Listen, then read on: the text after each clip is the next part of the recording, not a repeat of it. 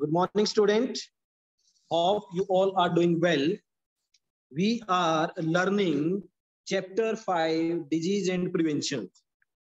Today, we will learn about spread of communicable disease and prevention of communicable disease.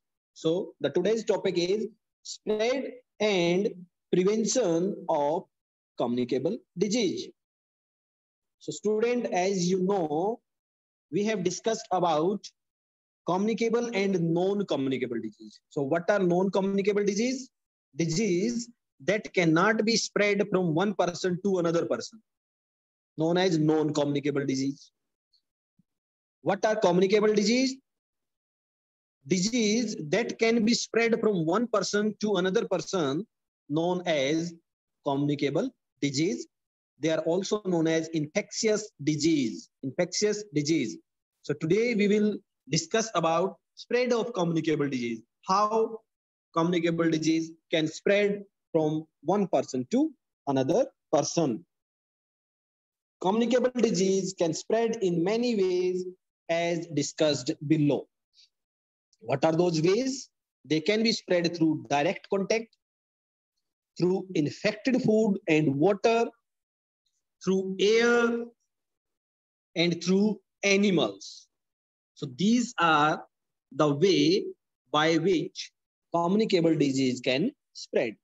So let's discuss about these way of spread of communicable disease one by one. So the first way is through direct contact. Yes, student, communicable disease can be spread through direct contact of the infected person because communicable disease are also known as infectious disease. Many diseases like common cold, measles, chickenpox, whooping cough, ringworms, scarlet fever spread through direct contact with the sick person or from the clothing or direct uh, or other article such as handkerchief, etc. used by a sick person. So if person is suffering from common cold, measles or chicken pox or cough or ringworms or a fever, many fever are in a category of communicable disease. So from that person to the person which is not sick, they can be spread by direct contact or by the other article such as handkerchief or the clothes which are used by sick person. So by this method, these communicable disease can be spread. So if the children is having chicken pox, look at the diagram, there will be a red spot on the face and on the body. That red spots are known as chicken pox. And measles is also similar to the chicken pox. So these are some disease which can spread from one person to another person. The second way is through infected food and water. Through infected food and water. Disease like cholera and typhoid. Typhoid is a fever. Spread by infected food and water carrying germs. If we are drinking a water which is having some germs in it. So by drinking that germs carrying water, a person can be infected. Person can get got typhoid fever. So these disease mostly affect the digestive system. Our digestive system will be affected if these type of disease are there. Typhoid and cholera affect our digestive system flies, cockroach, rats, and other small animal carry germs from garbage and sewers and deposit them on uncovered food and water. So if our food is not properly covered, water is not properly covered, so cockroach, rat, flies, house flies, they can deposit the garbage into our food. If they are sitting on garbage in sewer and then cockroach and house flies and rat come into our house and they house flies sit on our food, open food, open water. So they can deposit that garbage into our food and our food will be contaminated. So handling food with dirty hands and lack of proper sanitation are the main cause of contaminated food and water. If we are not washing our hand properly, if our hand are dirty and we are touching the food articles and drinking articles, that may also becomes dirty. And that the dirty food and dirty water can cause disease like cholera and typhoid. So this is another method of spreading of communicable disease through infected food and water. So consuming milk and meat of diseased animal can also cause infection. So many of the human being eating meat and most of the human being are drinking milk. If it is come from the infected animals, so the person consuming that milk and meat may also cause infection, may also cause infection. Through air, another way of spreading communicable diseases, air, through air. Disease like cold, pneumonia, TB, TB means tuberculosis, spread through air. That can be spread through air. When a person suffering from this disease, cough or sneeze, a little droplet thrown out contain germs. When the person is sneezing and the person is coughing, some little droplet of germs comes out. When a healthy person standing close by breathing breathes in air, germs enter his body and make him sick. If a person is standing near the sick person and that person is sneezing and having cough, so with the cough and sneeze, some small germs comes out and that germs will enter into the body of another person and the second healthy person may get sick. Healthy person may get sick. So in this way, the communicable disease like pneumonia, cold, TB, these are spread through airs, spread through airs. Next way by which communicable disease can spread is through animal. Communicable disease can also spread through animals, through animals. Animals. Disease like dengue, malaria, etc. spread by the bite of animals, bite of mosquitoes.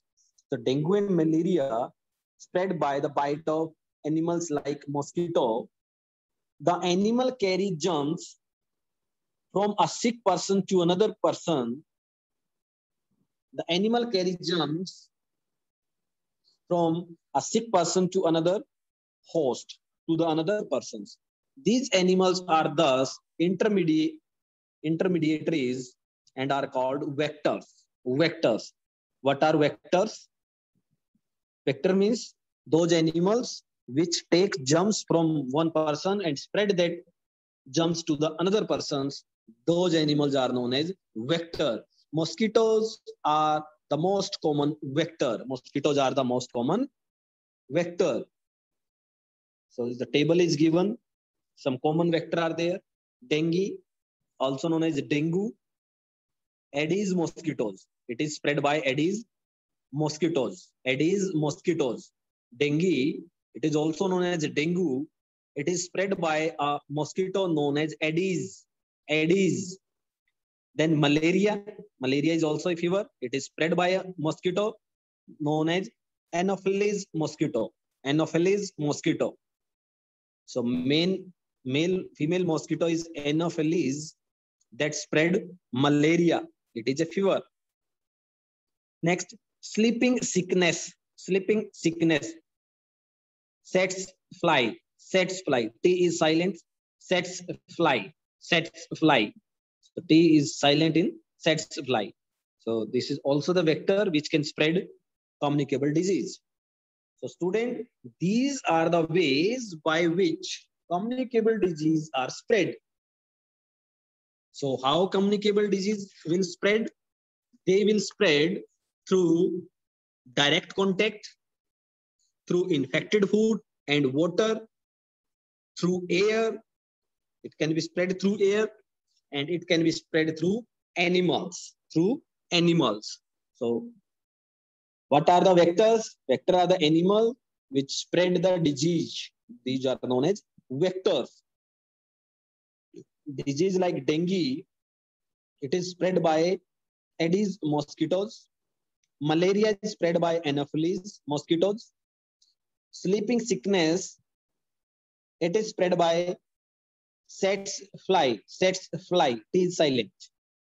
So do you know only the female mosquito bites a human being to suck their blood. Male mosquito will not bite. So female mosquitoes, female mosquitoes known as Anopheles spread malaria. So student, again time to answer. Name the following. You have to solve this time to answer by themselves.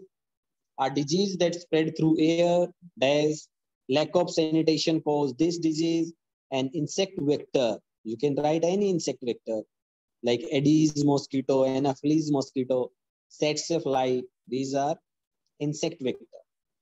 So the next topic is prevention of communicable disease. How can we prevent communicable disease? How can we stop the spread of communicable disease?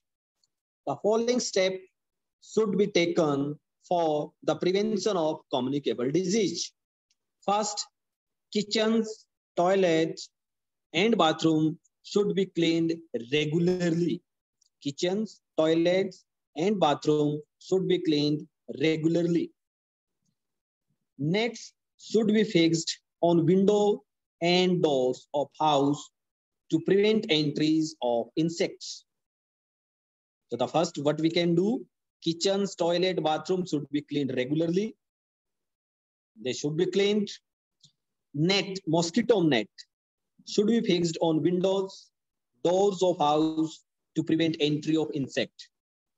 If there is a net on door and window, insect like housefly, mosquitoes, cockroach, they will not enter into our house.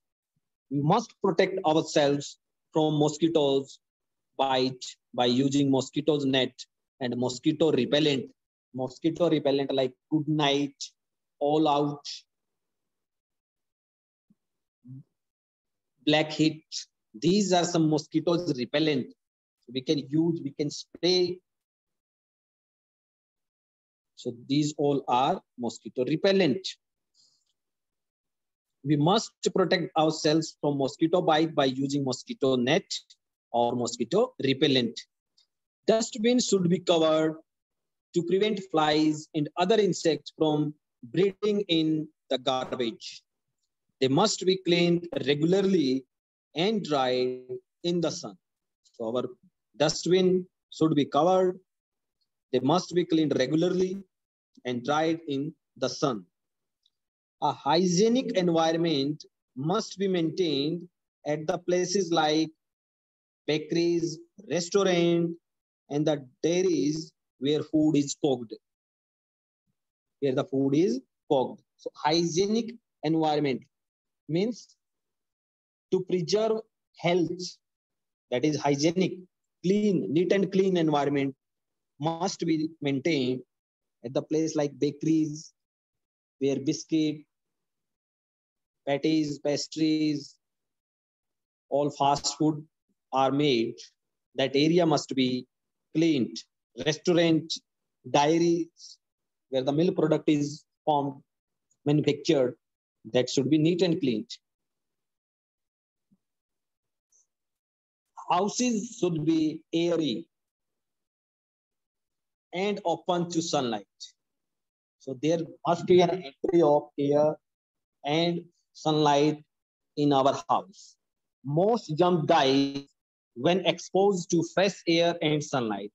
Most of the germs, most of the bacteria, most of the viruses get died when exposed to fresh air and sunlight.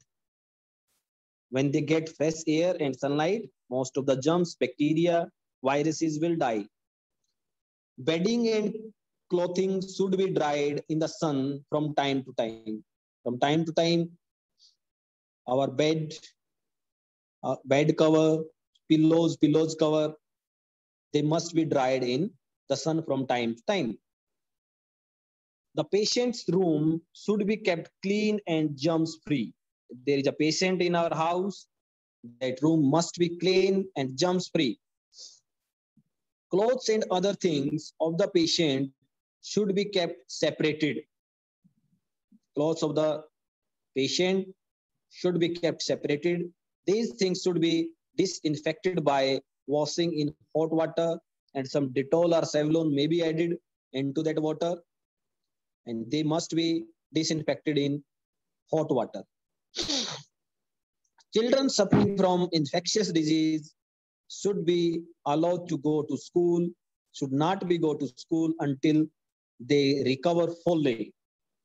So the children are suffering from cough and cold, they are having fever, if they are having disease like measles, they should not allow to go to school until they recovered fully.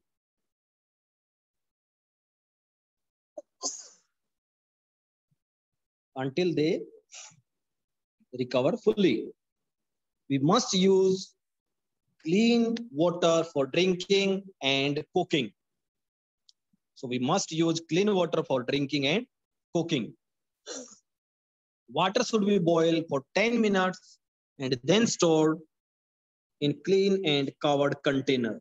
So by boiling the water, germs will be killed. If there are some germs in the water, most of the germs will be killed by boiling. Most of the germs will be killed by boiling. Children suffering from infectious disease should not be allowed to go to school until they recovered fully. We must use clean water for drinking and cooking. Water should be boiled for 10 minutes and then stored in clean and covered container. Large quantity of water can be purified by chlorination. So what is chlorination? Chlorination is to add chlorine tablet into the water or chlorine gas into the water that is chlorination. So by adding the chlorine tablet or chlorine gas into the water, the germs will kill. Germs will be killed and the water will be purified. So large quantity of water like if there is a swimming pool, if there is a pond, so how can we clean that water? We can add chlorine into that water and chlorine will purify the water. Oil must be sprayed on the surface of water in tanks and ponds to destroy mosquitoes larvae. Oil must be sprayed on the surface of water in the tank. We are having a water tank, water tanky. So we can put some oil. Oil can be spread. And same in pond and in lake.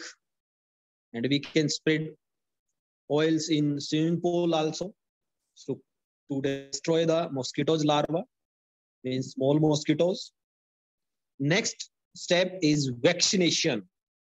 Vaccination is the another way of protecting children against some common but deadly childhood disease like diphtheria, tetanus, polio, cholera, hepatitis, typhoid, measles, these are some of the deadly disease. So by taking some vaccine, these disease can be prevented. This disease can be cured. Vaccines are biological preparation against weak and dead germs that help in acquiring immunity against certain disease. So what are the vaccines? Basically, vaccines are the biological preparation containing weak and dead germs. They are having weak and dead germs. When they enter into our body, our body get immune against these disease. So the process of giving immunity by vaccine is called immunization. Process of giving immunity by vaccination vaccine is called immunization. So the question is, what is immunization? Process of giving immunity by vaccine is called immunization. What is immunity? Immunity is the strength of our body which fight against disease. Ability to fight against disease is known as immunity. Immunity.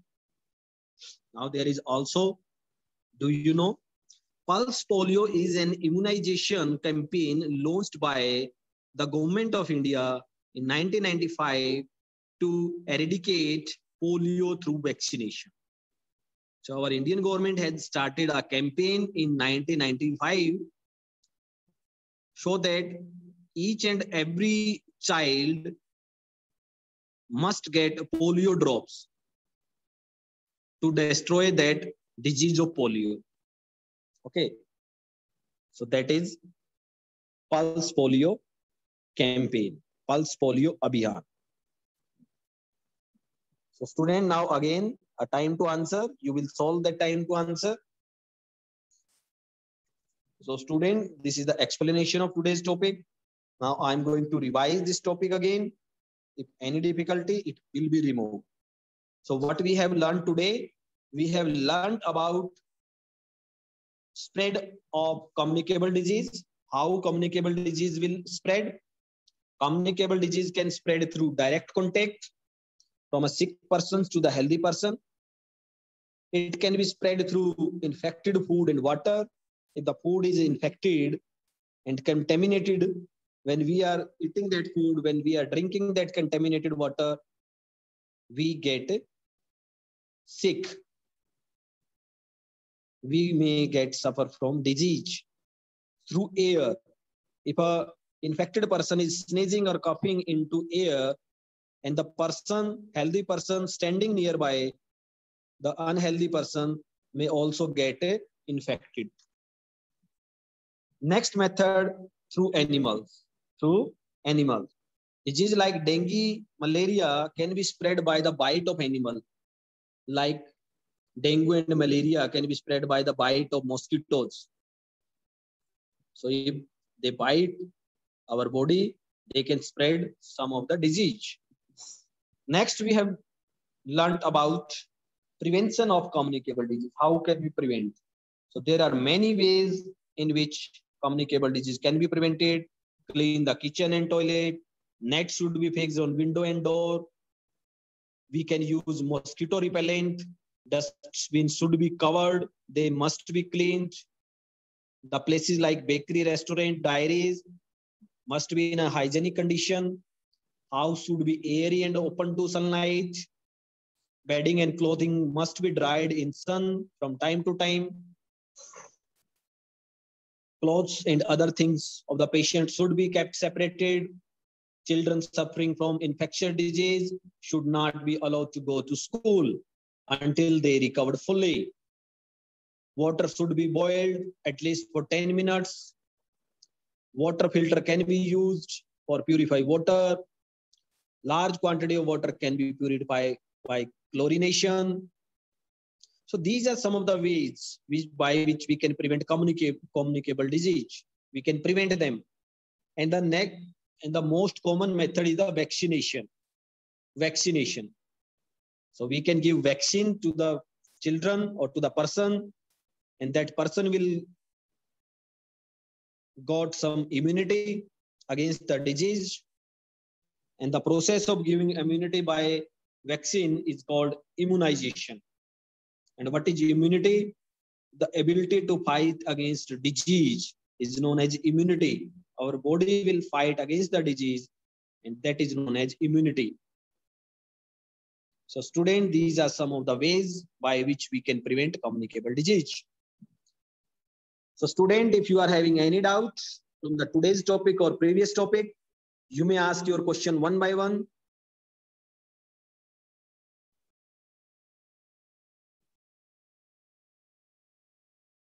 Yes, Akash sir, allow the student, show that they can ask